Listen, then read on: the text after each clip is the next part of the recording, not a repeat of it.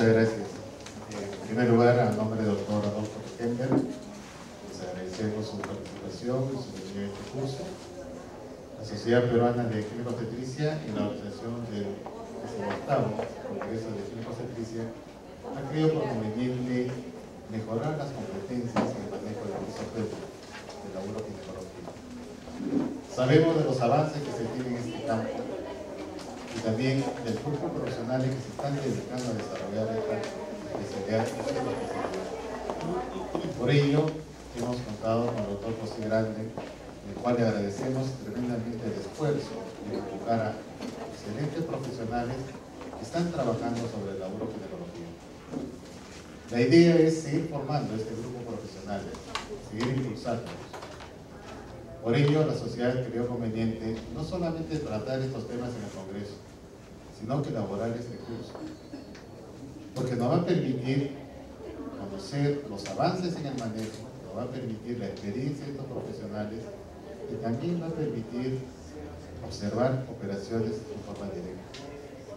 Por eso en el desarrollo de la organización del Congreso vimos que el Instituto Materno Periodistal cuenta con tecnología. Tiene una tecnología avanzada en lo que son revisiones de operaciones. No solamente ellos hacen transmisiones dentro del hospital, sino también ellos hacen teleconferencias hacen transmisiones en vivo, hasta consultas en vivo. Entonces, aprovechando esta tecnología, la sociedad, en convenio con el Instituto Materno decidió hacer el curso. Por eso les agradecemos acá su participación y esperemos que lo que se aprenda sea de todos sus pacientes para una mejor atención. Con esto vamos a declarar inaugurado este curso congreso y vamos a agradecer al doctor José Grande y darle un fuerte aplauso por toda la organización que está realizando este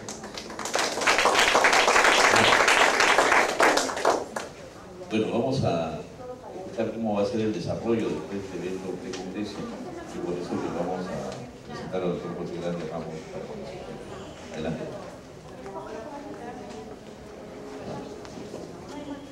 Bueno, ante todo, muchas gracias todos ustedes por haber venido, por esta convocatoria. Eh, este, al Consejo Directivo de la Sociedad Peruana de Obstetricia y Ginecología por esta oportunidad y agradecer también al Instituto este, Materno Perinatal eh, por brindarnos su local.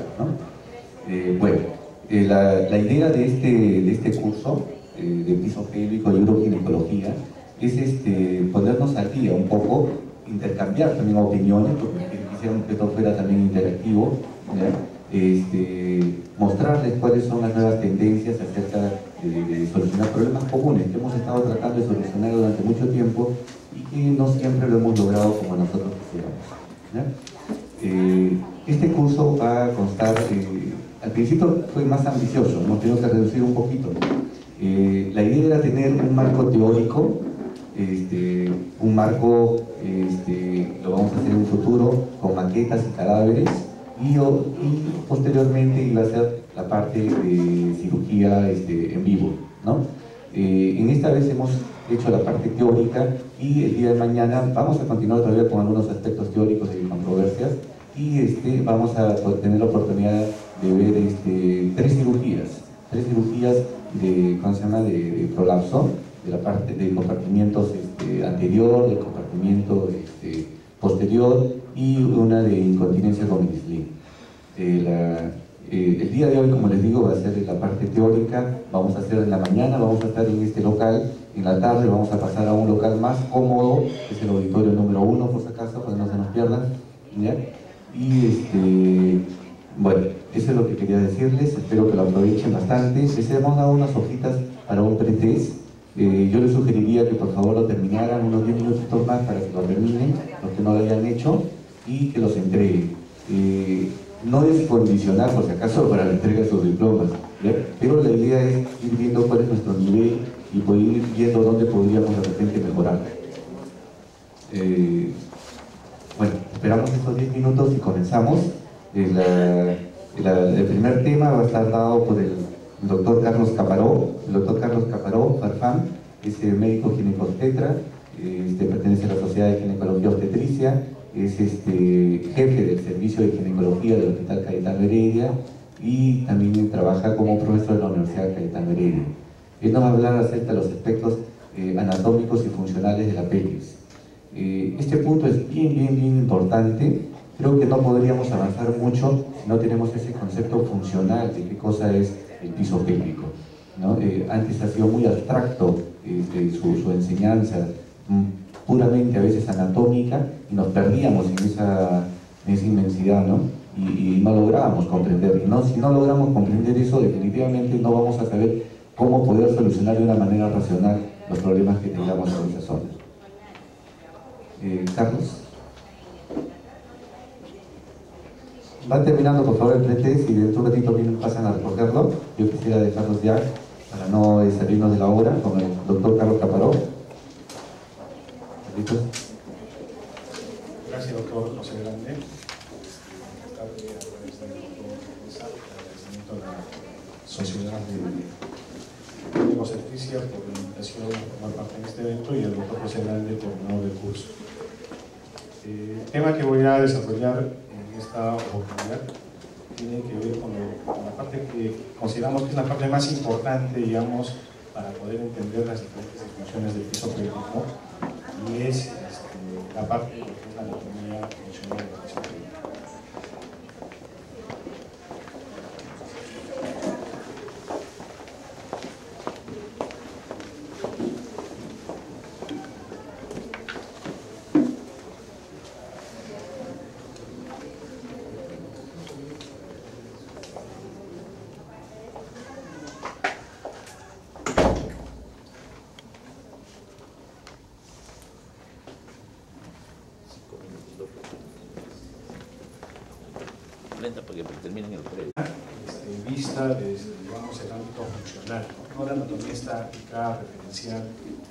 probablemente muchos de nosotros hemos aprendido esta parte de la anatomía, sino darle una mirada mucho más dinámica.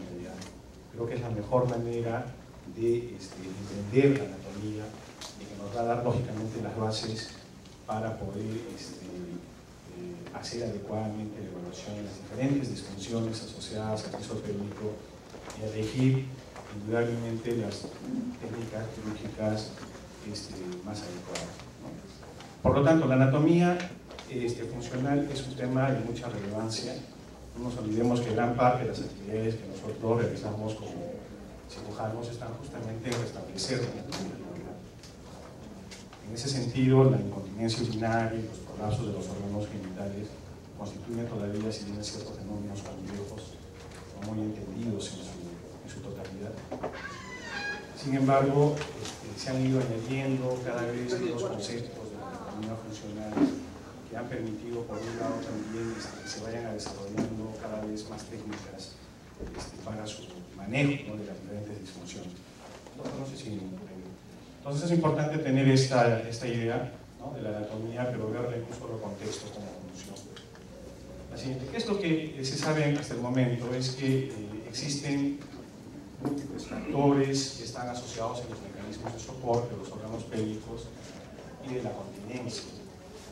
Cualquier defecto o problema en estos factores indudablemente va a predisponer a la aparición de disfunción y no solamente eso, sino también a la severidad de su presentación.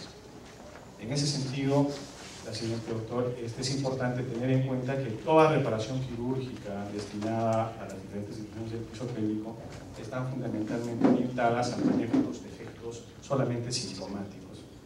Quiere decir que aquellas pacientes que no tengan manifestación clínica no serían candidatas, lógicamente, para este, aventurarnos a hacer un tratamiento, sobre todo de tipo quirúrgico. El objetivo de la reparación es finalmente mantener la función urinaria, intestinal y sexual y evitar las este, sobrecorrecciones que muchas veces nos vemos tentados en hacer en la cirugía pélvica y como veremos más adelante simplemente nos van a llevar a generar otro tipo de disfunción.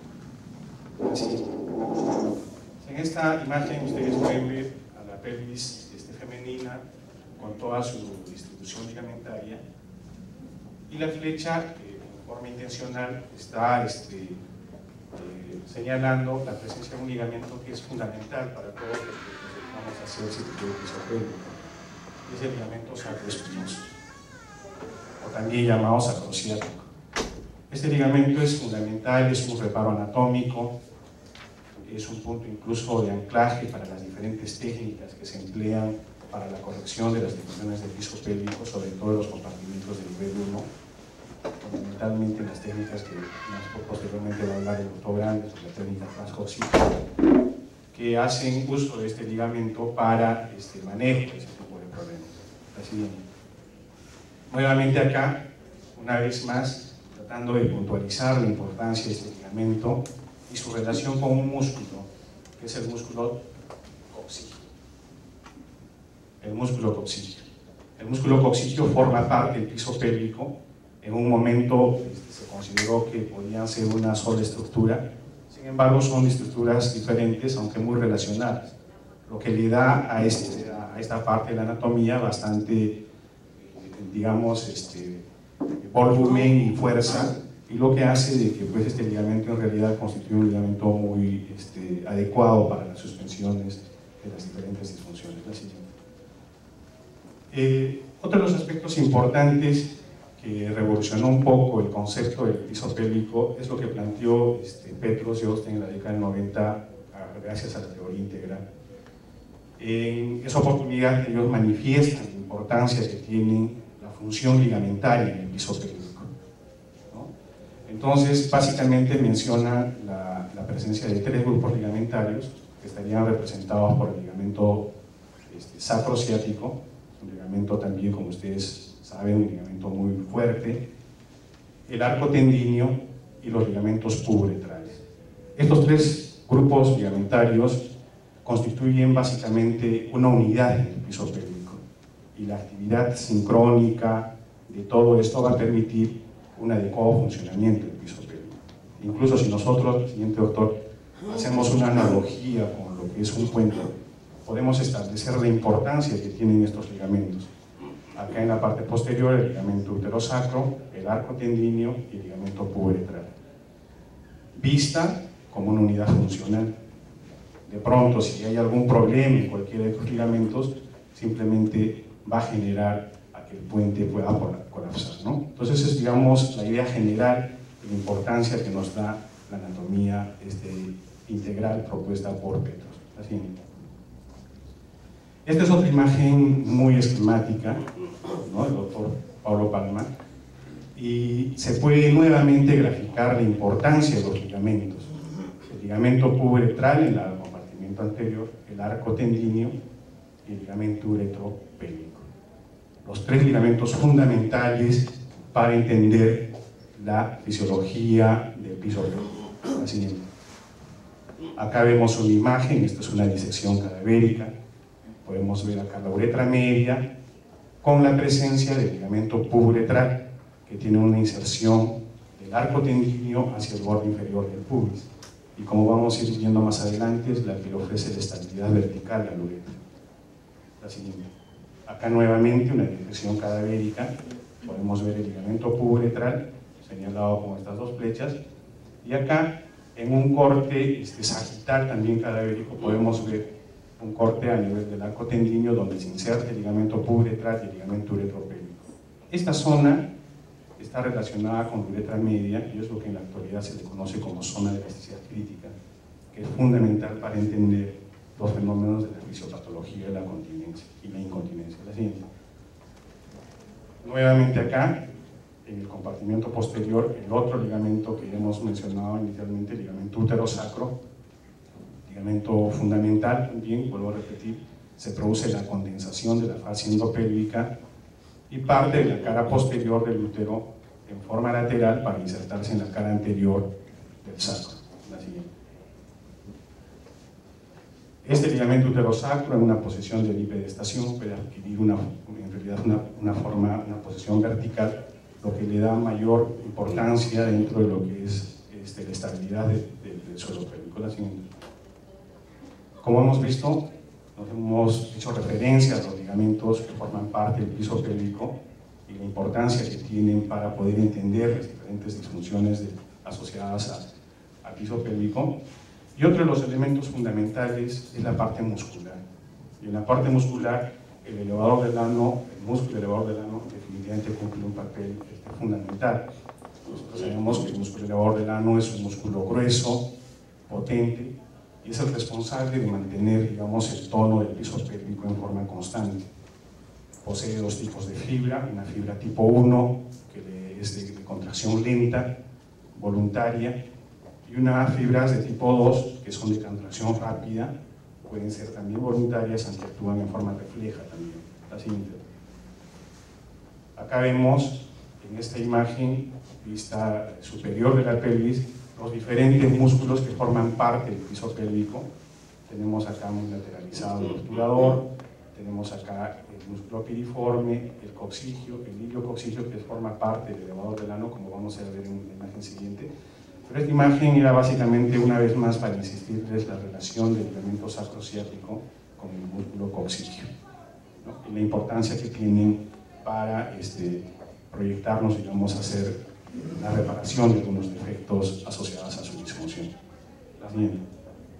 Acá vemos el obturador interno, es un músculo que está relacionado también con la membrana obturatriz y que cubre el agujero obturador. Como ustedes van a ver más adelante, esta zona también es importante para la colocación de los slims, sobre todo los slims transobturador, tanto para el manejo de la incontinencia o también para la corrección de defectos de nivel 2, como son con las técnicas de NASA, que también usan este, esta zona de referencia. La siguiente.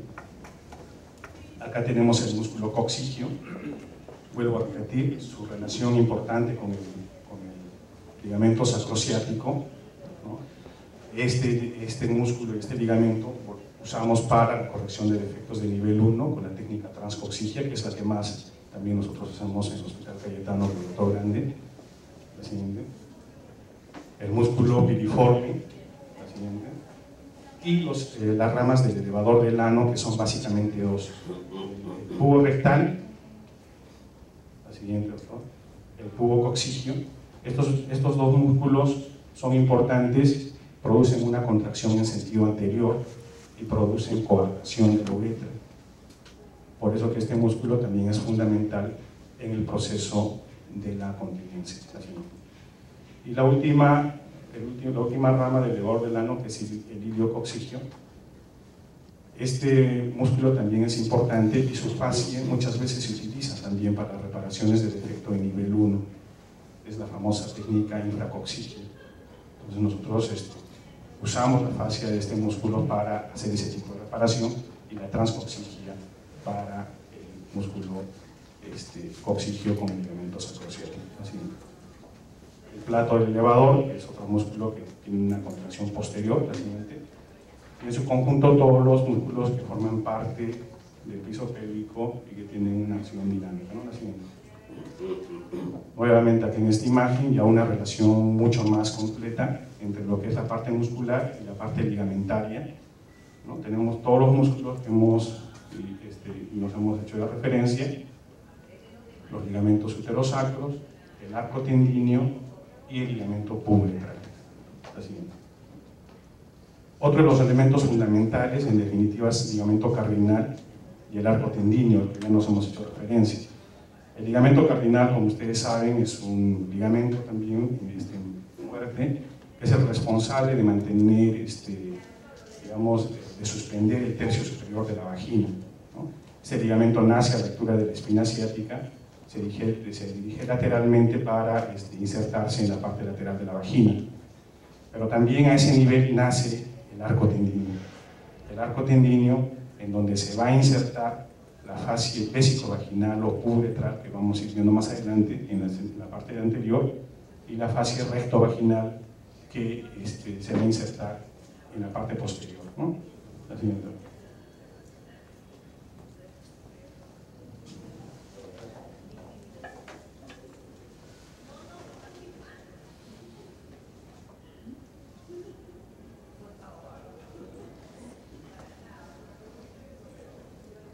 Acá en esta imagen también este, eh, del doctor Pablo Palma se puede eh, evidenciar con claridad la importancia de estas dos fases, fascia vaginal y fascia rectovaginal. La fascia vaginal es una fascia que se inserta en la parte superior, en la cara anterior del cuello del útero. En la parte lateral se inserta en el arco tendíneo, también llamado línea blanca, fascia rectovaginal se inserta en la cara posterior del cuello del útero, en la parte lateral se va a insertar en el arco tendinoso y abajo en el cuerpo.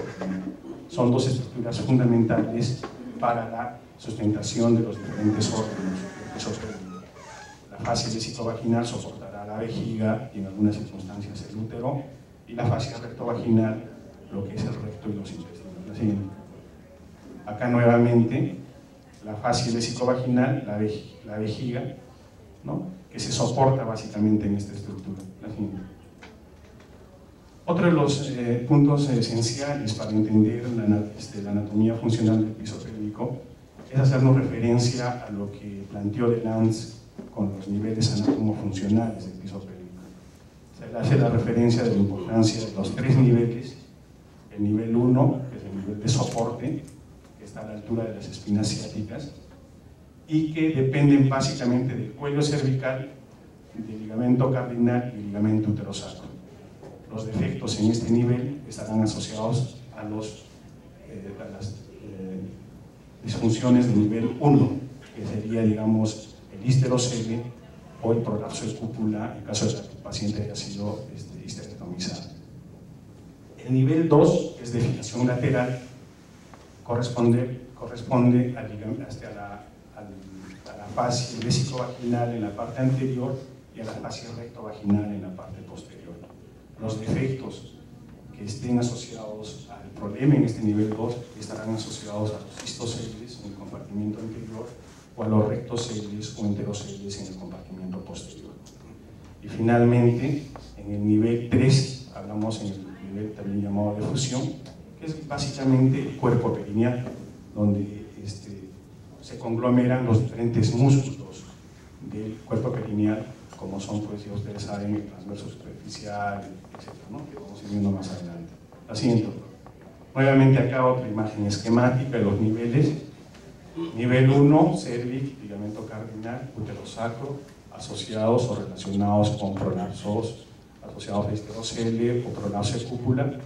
Nivel 2, septum recto vaginal en la parte posterior, septum este, vaginal, lo llamado también cubo cervical, en la parte anterior, y en la parte inferior, o nivel 3 de fusión, el cuerpo perineal, con toda la conglomeración de los músculos que también sirven como fijación para el tercio superior de la vagina. Nuevamente, la importancia de los, importancia de los niveles anatomofuncionales, nivel 1, el cuello con los ligamentos, nivel 2, la vagina, en la parte anterior la fascia vaginal y la parte posterior la fascia recto-vaginal. Y finalmente el nivel 3, el cuerpo perineal, una vez más para este, reafirmar digamos, los conceptos. Acá vemos una imagen, un corte sagital, una pelvis femenina, y podemos ver estas flechas básicamente apuntan a la fascia vaginal que es la que separa la vejiga de, la vagina, el cuello del útero, que es llamado el anillo pericervical, y la fascia rectovaginal, que separa el recto de la vagina. Entonces tienen una forma de puente. si nosotros hacemos la famosa analogía que planteó también este, la siguiente en acá podemos entender con mayor claridad la importancia de cada una de estas estructuras para explicarnos la fisiopatología de los colapsos. Entonces, el cuello cervical actuaría como el anillo pericervical, es digamos la estructura donde se sustentan tanto la pared anterior como la pared posterior. Esto correspondería a la fase vaginal y a la fase recto-vaginal. ¿Qué sucede si, si estas fascias se desgarran o se desprenden del anillo pericervical? Sería como si, hubiésemos removido la piedra angular, o sea, el cuello, y las paredes quedan sin sustentación con tendencia a caer. Eso es lo que explica en la actualidad la fisiopatología, los prolapsos genitourinarios, la importancia cada vez, que tiene, cada vez más que tiene la preservación del útero en las cirugías o del útero en las cirugías de piso Por lo tanto, este, los, todos los diagnósticos que se hagan en el piso pélvico, sobre disfunción del piso pélvico, están fundamentalmente, si es tratamiento quirúrgico el que vamos a optar, en reconstruir la anatomía normal. no existe evidencia de la corrección de prolapsos asintomáticos. Nuevamente en esta imagen, todas las estructuras, la imagen ya lo hemos visto anteriormente, ligamento puboretral, el arco tendíneo, ligamento uterosacro y la fascia vaginal en el compartimiento anterior, insertada a nivel del cuello uterino acá, al arco tendíneo en sentido lateral. Acá tenemos una paciente con un prolapso, por total, ¿no? no se ve muy bien la imagen, pero sin embargo era básicamente para poder distinguir que en esta paciente existe la sospecha clínica de que la fascia vesicovaginal se desprendió del cuello. Entonces la parte este, que está cerca al cuello usualmente mantiene una mucosa lisa y la que está hacia la uretra se corruge, es como que como que si una persiana se hubiese eh, corrido en sentido hacia la uretra. La siguiente. Acá la vemos un poco más clara en esta imagen. La zona punteada corresponde a la zona en donde la fascia debía estar insertada en el cuello ¿no? y se ha este, retraído en sentido distal. Y la mucosa vaginal que está cerca de la uretra se puede notar bien corrugada, lo que nos hace sospechar de que ha habido un desprendimiento de la fascia del pericérvica y que es el tipo de efecto más frecuente también encontrados en nivel 2, que es el efecto apical transverso. En esta eh, foto de acá, que es una foto propuesta por el doctor Dávila, podemos ver en esta representación esquemática todos los posibles defectos que pueden haber en el compartimiento, tanto anterior como en el compartimiento posterior. Esta flecha roja está señalando intencionalmente a los tipos de desgarro más frecuentes de la fascia vaginal en la parte anterior y recto vaginal en la parte posterior, que son los defectos apicales transversos tanto anterior como superior. ¿no? Acá podemos ver también que estas fascias se pueden este, digamos, este, romper en la parte media o también se pueden desinsertar del arco tendíneo, que son los defectos de tipo lateral y los defectos de tipo central. Así. Acá vemos otra representación esquemática de cómo se ha producido un defecto apical transverso secundaria a un desprendimiento de la fascia vaginal del anillo pericervical entonces se ha este, orugado hacia la parte distal. La siguiente. Acá vemos otro defecto, un defecto lateral, desprendimiento de la fascia del anillo, perdón, del arco tendíneo. La siguiente. Y un defecto de tipo central. ¿no? Eh, las reparaciones, que como vamos a ir viendo más adelante, las reparaciones quirúrgicas, competen varias técnicas. Estas, estas se pueden también solucionar con técnica de la reparación citoespecífica.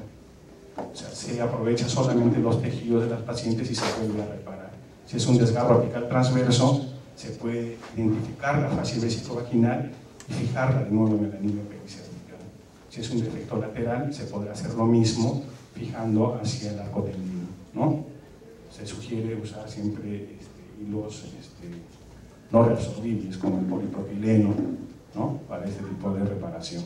Y la otra es, como van viendo más adelante, la colocación de prótesis que pueden ser este, sintéticas o, biológicas. La siguiente. Nuevamente acá, una vez más, la representación de los diferentes defectos en el compartimiento anterior, defecto apical transverso, defecto lateral, defecto central. La siguiente. Nuevamente, lo propuesto por Daila, de las posibles, posibles efectos asociados a, este, a nivel 2. Y nuevamente, en una foto, todos los efectos que pueden estar asociados a, al problema de la, de la fascia vaginal y sobre todo hacer, este, eh, recalcar la importancia del defecto apical que finalmente constituye una de las presentaciones más comunes de, este, de defectos en nivel 2. Acá tenemos otro paciente, ¿no? Este, la mucosa que está cerca del cuello, nuevamente más lisa. Aparentemente la fascia se ha desprendido y se ha ido hacia el sentido este, de la uretra. La siguiente. Esa misma paciente ya se hace la apertura de la mucosa y se puede identificar la fascia vaginal en estas dos alis en desprendidas del anillo pericervical. La fisiopatología en, el compartimiento posterior es similar. Los defectos apicales transversos posteriores son los más frecuentes. sucede casi de la misma forma, se desprende del anillo pericervical y se va en sentido caudal. La siguiente. Y se va en sentido caudal, la siguiente. Y vemos en esta imagen una vez más la mucosa vaginal lisa y la mucosa vaginal cerca de la parte anal ¿no? La siguiente. La paciente este, ya operada se puede identificar la fascia recta vaginal. Por lo tanto, el conocimiento de la anatomía del piso pélvico es determinante para escoger la técnica apropiada para el tratamiento de los prolapsos y la incontinencia urinaria. Gracias. No sé si tienen hasta ahí alguna pregunta.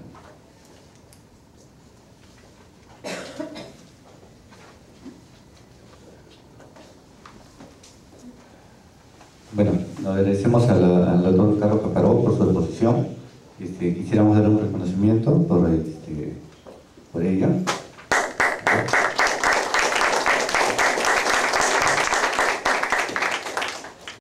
Es, la zona de la elasticidad crítica está más relacionada a los problemas de continencia. Y hay dos filamentos que cumplen una función importante, que es el elemento uretral y el uretro este, la zona de elasticidad crítica es uno de los nuevos conceptos que ha revolucionado también la teoría integral. Este, hasta antes de la década del 90, antes de que se introdujera, este, eh, bueno, con la introducción de la teoría integral propuesta por, por Petros y Olstein, este, la zona de, interés en la fisiopatología y la incontinencia urinaria este, surgió, digamos, un nuevo concepto. Las técnicas que se empleaban para para manejo de incontinencia urinaria de esfuerzo antes de las décadas del 90 este, se fundamentaban en el principio fisiopatológico de que el problema estaba en el cuello de, la vejiga y el uretra proximal. Entonces todas las técnicas que se emplearon hasta ese momento eran técnicas tenían como objeto reposicionar la, la uretra a una posición generalmente retropúbica alta. Así nacieron la técnica de Kelly Kenny, la Burch, Macho Marchetti. Pero con la teoría integral la zona de, interés de la fisiopatología de incontinencia se mudó de la uretra media, perdón, de la uretra proximal a la uretra media. Entonces, el problema de importancia en realidad de la incontinencia urinaria radica ahora en la uretra media. La uretra media está relacionada con estos dos ligamentos, el uretral que le da una estabilidad vertical a la uretra y el ligamento uretropélvico que le da una estabilidad horizontal. Cualquier defecto a nivel de estos ligamentos, lógicamente, va a condicionar a la presencia de la incontinencia urinaria de esfuerzo.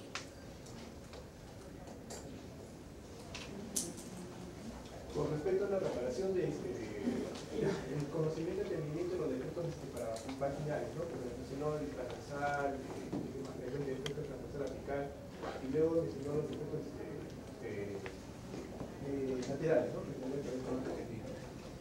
me llamó la atención cuando vi las publicaciones que eh, parte de esos defectos, dice, en manos de personas bien entrenadas para, quirúrgicamente, era muy difícil la correlación clínica y la evaluación ¿no? en el momento de, esos defectos.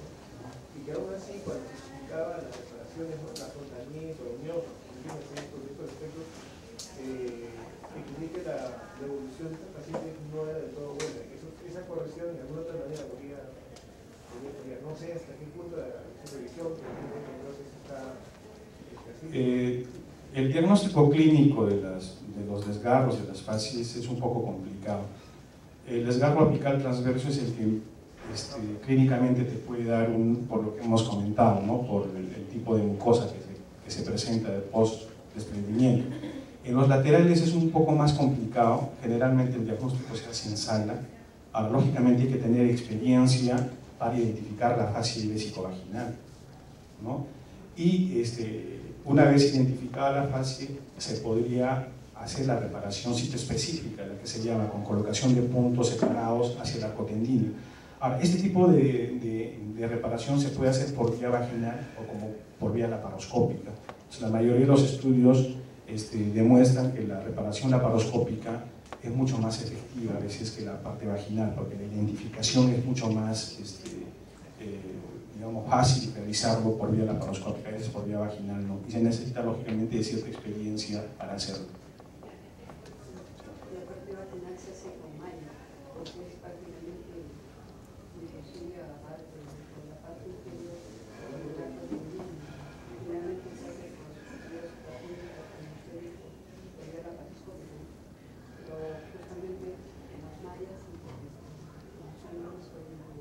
Claro. Eh, como le digo, o sea, es un tema todavía controversial, ¿no? Las distopias este, de grado moderado, este, ahí está, digamos, el tema si usar malla o hacer reparación específica, en donde sí las cosas están totalmente claras son en los prolapsos totales, porque a veces identificar en ese tipo de pacientes este, las fases vesicovaginales este, a veces ya no se pueden porque se han atrofiado o ya no hay forma de, hacer una reparación. En ese caso sí la, colocación de material este, eh, ya sea este, biológico o, este, o material este, eh, sintético, como las mallas, sí, sí cumplirían el, efecto de reparar todos los defectos, desde el efecto apical transverso, los laterales con la el reconocimiento de los las señales anteriores de, de este tipo, de efecto anterior 2, 2, 2B, ¿no? comprometidos y realmente llegar hasta qué punto es lateral es mayor problema, ¿no? Y a veces se entra, se hace la, la, la reparación asumiendo que es un defecto lateral y sencillamente al menos de cuatro años especialmente en.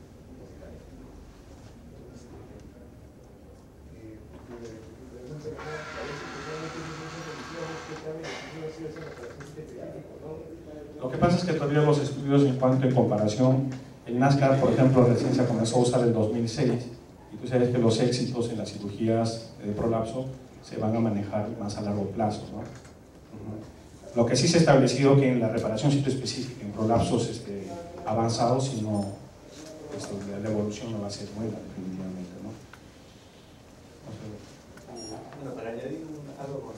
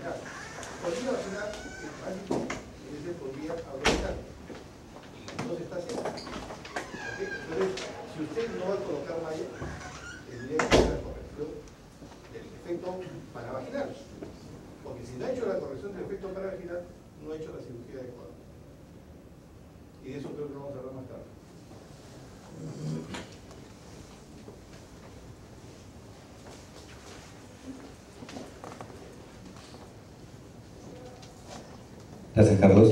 Eh, lo dejo a, para que hable. Me encanta.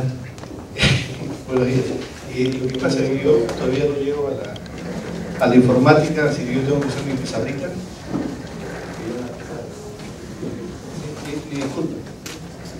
No, lo que sucede es que eh, la razón principal, he dado esta charla, eh, le estoy dando del año 97 y este, hemos estado tratando de implementar esto, hemos encontrado muchísima oposición al cambio. Y una de las primeras cosas que, pudimos entender es que ni siquiera la clasificación de Baden se usa adecuadamente. La, primera dificultad, porque nosotros decíamos, pero si conocen el Baden, qué fácil es implementar el POP Y la realidad, que como no conocían el Baden, se les hacía todo un problema. Entonces, vamos a ir, vamos a ir poco a poco. Eh, esta clasificación nueva eh, no va a ser la última. es una nueva clasificación. Creemos que es mejor que la anterior, pero me imagino que en el futuro de repente va a mejorar un poco más. Si nosotros nos ponemos a analizar lo que hacemos ahora versus lo que hacíamos hace 10 años o hace 15 años, vamos a ver que se dado un vuelco tremendo. Porque se sigue usando el punto de Kelly Kelly, el punto de Kelly Kelly, eso está por cumplir 100 años. Y este, eso fue lo mejor, si nosotros nos ponemos a pensar, nos acordamos que Claire, que fue la, empleada de la ama de Kelly, este, tuvo 11 operaciones antes de llegar a la corrección adecuada, se le ocurrió el punto de Kelly y bueno, hizo este, el punto 11 operaciones de prolapso. Era la, matrona negra que le había dado de lactar y después tuvo prolapso y tenía incontinencia urinaria. Bien, y hasta ahora sigue ahí. Y durante muchos años el, el concepto que predominó es que el prolapso era como un globo que se había distendido, entonces había que recortar todo para corregir. Han empezado ya desde la década del, del 70 a mejorar una serie de cosas, y bueno, estamos llegando a los conceptos que se están virtiendo a partir del día, hoy día. Con Pepe nos aúna un gran espíritu de, ir avanzando en esto de acá. En el año 97 se publica, en el año 96 se publicó ah, en el Journal of Obstetric and Gynecology la clasificación del POPQ y estábamos en la parte académica todas las cosas que no llegaban tratábamos de implementarlas. Nos pareció inicialmente bastante engorroso porque entenderlo, traducirlo adecuadamente, entenderlo y aplicarlo no nos fue fácil. Pero eh, empezábamos con los residentes a hacer las revisiones de la revista y, y veíamos que esto era lo nuevo y vamos a ver cómo lo hacemos. Curiosamente, le voy a contar un, una anécdota. Yo hice mi internado en el Loaiza y todo el mundo se extrañó porque yo hice internado en el Loaiza porque toda mi carrera la había hecho en la realidad. Porque el Loaiza tenía 100 camas ginecológicas.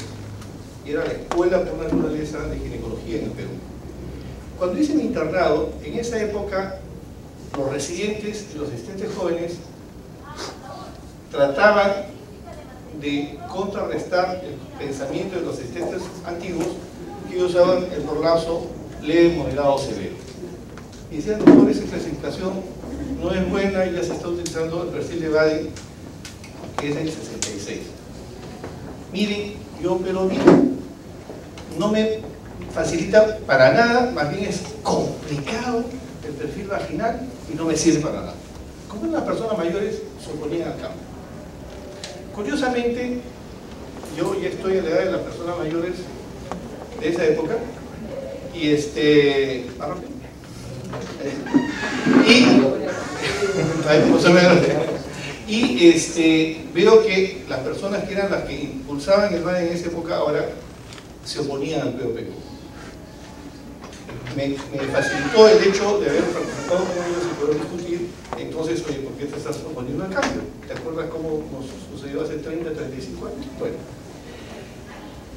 no hay una clasificación perfecta, pensamos que esto es mejor y si ustedes en, el transcurso del día de hoy van a ver que no solo es una evaluación lo que nos permite hacer un diagnóstico correcto, o sea, cada vez tenemos que tomarnos un tiempo adecuado para examinar a una paciente con prolapso, hacer una muy buena anamnesis.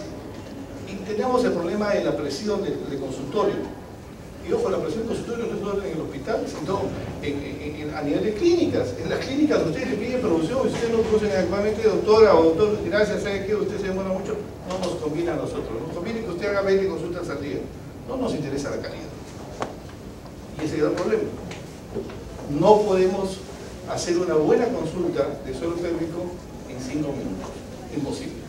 Entonces, primero tenemos que hacer una muy buena análisis porque con una buena y adecuada anamnesis, nosotros vamos a ir más o menos orientando el problema hacia dónde va. Después de eso tenemos que hacer un buen examen clínico, y un buen examen clínico significa varias cosas que lo van a ir viendo a través, en el transcurso de las, de las charlas. Una cosa muy simple, el diario de micción. ¿Cuántos de ustedes usan diario de micción en la evaluación de una incontinencia urinaria? Poniendo la mano en el pecho, recién eh, este año en un hospital de primer nivel de seguro social se ha implementado en uno, no en todos. Imagino que el problema debe ser igual en un montón de sitios. Sin embargo, ustedes se van al país del sur y se dan cuenta que ellos no operan un incontinencia urinaria si no tienen un diario de admisión. ¿Ok? Lo que es más terrible, somos el único país en el cual no está impuesta como norma de la sociedad la calificación del POPQ para evaluación del prolapso, pero hasta los bolivianos la tienen. Ustedes entren en internet y van a ver que Bolivia, Ecuador, Chile, Uruguay, Argentina, Brasil, Cuba tienen el POPQ hace más de 10 años. Por lo menos más de 8 años. Y nosotros todavía estamos bregando para que esto se haga. Por otro lado, ojo, esto es una evaluación. No es lo único, porque ustedes saben que no es un sedimento urinario lo que se pide para una incontinencia urinaria, ustedes tienen que tener mínimo un urocultivo. En algunos casos tendrán que hacer una cistoscopía, en algunos casos tendrán que hacer una urinaria. En todos los casos de incontinencia urinaria tiene que haber una medición de residuo vesical postmicción. O sea, no es solo esto, son una serie de cosas que nos va a permitir llegar a un mejor diagnóstico. Lo- el tema que me toca es hablar de la clasificación de POPQ, que es un complemento más a toda la evaluación de prolapso. Bien, entonces, si yo digo cistocelia de segundo grado, ¿significa que solo la vejiga está prolapsada? No necesariamente.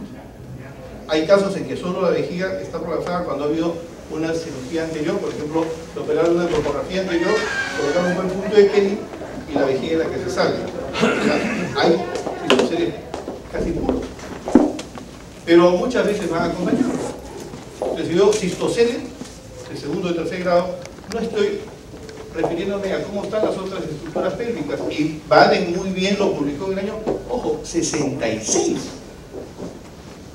Y ni siquiera la, evaluación del 66 que es aplicada correctamente en el Perú, a nivel nacional. Entonces Baden hizo notar, oye, el suelo pélvico es toda una unidad. que Tenemos que trabajar en forma integral y tenemos que medir cómo está la uretra, cómo está la vejiga, cómo está el útero, cómo está el fondo del saco, cómo está el recto y cómo está la parte perineal que él llamó desgarro perineal. Entonces, primera cosa, no debemos pensar solo un Y la otra cosa es, un cistocele de tercer grado es, puede salir un centímetro, puede salir dos centímetros, puede salir cuatro centímetros. ¿Es lo mismo un cistocele que salga un centímetro que el que sale cuatro centímetros? Creemos que no. ¿Ok? Y este, entonces, bueno, en una evaluación tenemos que tener en cuenta todo. Bien. Si nosotros tenemos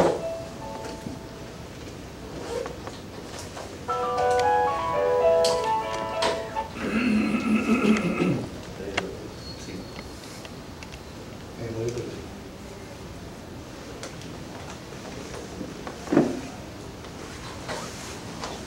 Ahora, el dijo, compra de tu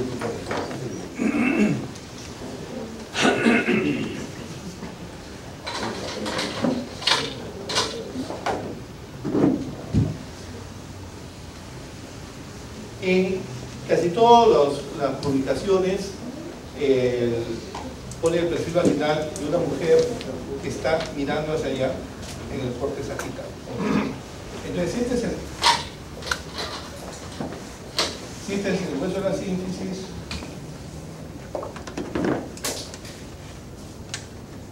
vamos a hacer nuestra vagina. Obviamente la vagina está dilatada en estas circunstancias. Tenemos nosotros algunas estructuras. ¿Qué tenemos nosotros? Primero tenemos la uretra, después nos sigue la vejiga, tenemos el útero, tenemos el fondo de saco posterior, tenemos acá el recto, y esto es el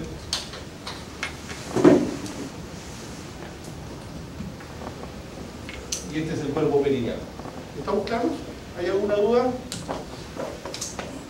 Vuelvo a ver. Vagina, uretra, vejiga, útero, fondo de saco, recto y cuerpo perineal. Bien. Bien. Entonces, una de las dudas que hay cuando yo mido eh, en la uretra es, ¿tiene un uretrocele? Sí, pero ¿qué parte del uretra estás midiendo? El doctor acaba de hablar de la letra media, la letra anterior, la letra posterior. ¿Qué parte de la uretra? Y esa es una parte que no está muy clara. Entonces vamos a escoger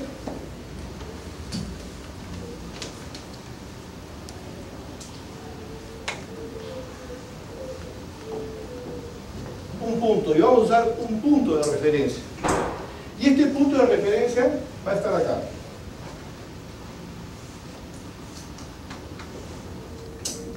Para medir la uretra vamos a usar ese punto de referencia que va a estar acá. ¿Por qué acá? Porque es el nivel de repliegue uretrovesical y el otro punto de referencia importante va a ser este de acá, que es el límite. Y vamos a ponernos de acuerdo. Vamos a medir en centímetros. ¿Y esto en qué momento vamos a medirlo?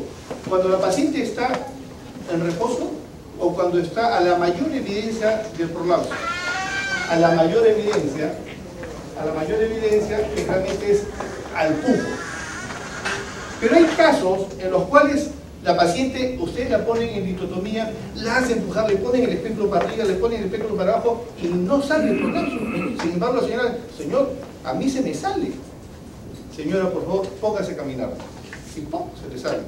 O hace dos semanas, hace un mes, tuve una paciente, una chica de 38 años, que se puso en cunclillas y en cunclillas se le salió y era un prolapso uterino. Pero la habíamos hecho empujar, le colocamos valva arriba, valva abajo y no había salido el prolapso. Entonces, ¿qué evaluación tengo que tener yo? A la evaluación de la máxima evidencia del prolapso. Y ustedes ponen en listotomía, de pie o etcétera. Pero es a la mayor evidencia, generalmente es al pujo. ¿Ok? Entonces, esta evaluación, para estos puntos que les voy a poner, es en esas condiciones. Y la otra cosa es a nivel de la línea media. Y esta es la vagina, no va a ser a un costado, debe ser a nivel de la línea media. ¿Ok? Bien.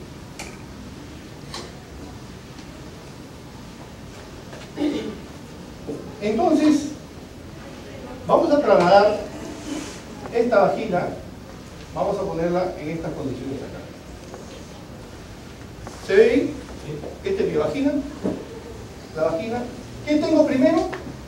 La uretra. Entonces, primero voy a hablar de la uretra. Voy a ponerme de acuerdo.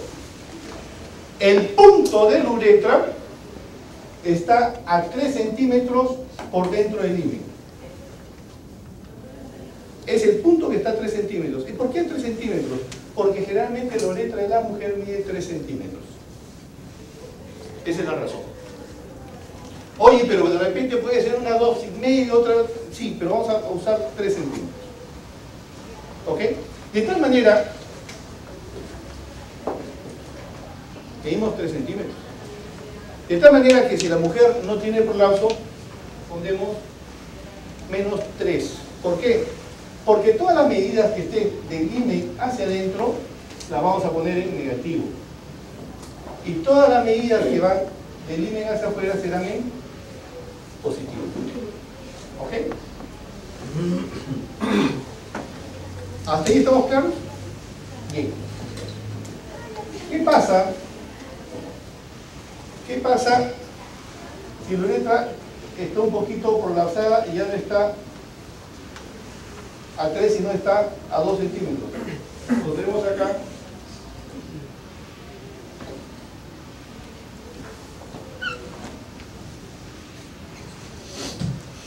En los dos.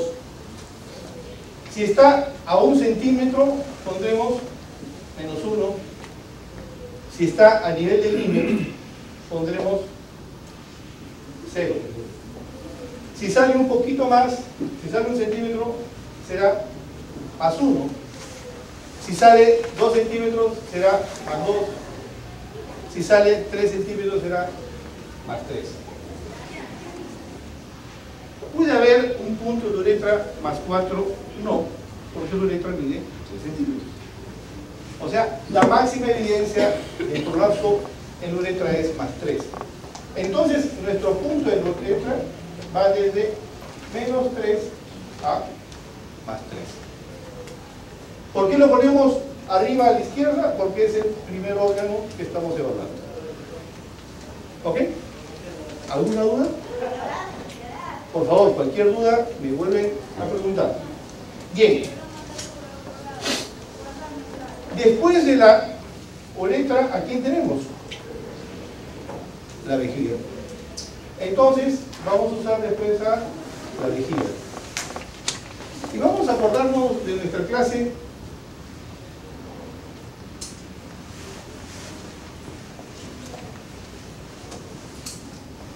de geometría, una línea es una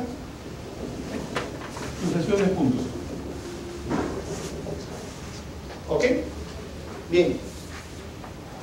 Vamos a usar un punto para medir la vejiga. ¿Y cuál es el punto? Si esta es la línea media, el punto que esté más alejado de la línea media, que cuando no hay prolapso, el punto de la vejiga está muy pegadito al punto de uretra. Entonces, cuando no hay prolapso, será menos 3. ¿Ok? Hay otras personas que les es más cómoda la definición. La parte más protruida de la vagina. ¿Ok? Las dos cosas llegan a ser lo mismo, pero la, la definición exacta de la traducción del inglés es el punto más alejado de la línea media. Entonces, cuando no hay prolapso, está muy pegado el punto de la vejiga al punto de la letra y es menos 3. ¿Ok? Pero ¿qué pasa si la vejiga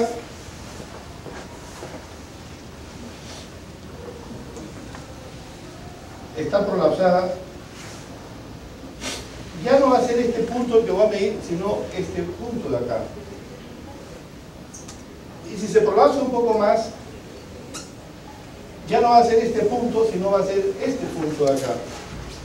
Y si se prolapsa un poco más y sale bastante de la vagina,